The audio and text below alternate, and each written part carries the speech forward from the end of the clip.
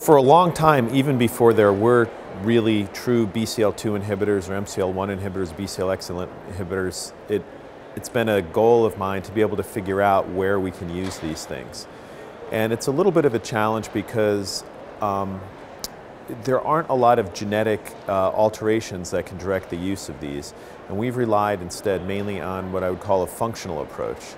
And since these BCL2 and MCL1 inhibitors operate at the mitochondria, we've actually been using functional approaches at studying uh, cancer cell mitochondria in order to predict who's going to be, whose tumors will respond to these drugs and whose tumors won't. It's a process uh, that we call BH3 profiling. I think we could break that into two questions, two, two parts. One is single agent, uh, uh single agent uh, sensitivity of tumors. And I think that there are some tumor classes that would be pretty homogeneously sensitive and some that are more heterogeneous. So for, for example, we found that chronic lymphocytic leukemia, CLL, is, we by, based on our assays, looked like it should be homogeneously sensitive to BCL2 inhibition. And in fact, clinical trials have very much borne that out, where there are essentially 80% response rates to single agent venetoclax, one of the small molecule BCL2 inhibitors, in uh, clinical trials run by Andrew Roberts.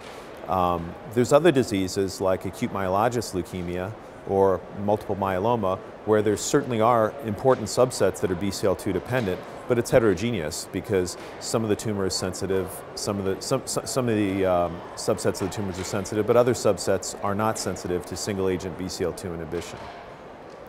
But I think it's even a little more optimistic than that uh, because we've also found that you can perturb cells that aren't particularly BCL2 dependent and make them more BCL2 dependent. So in the case of CLL, it really appears that perturbing CLL cells with a ibrutinib Ibrutinib is not only effective as a single agent, but what we found, and Varsha Gandhi's lab also found, is that perturbing CLL cells with ibrutinib makes them, in turn, more BCL2 dependent.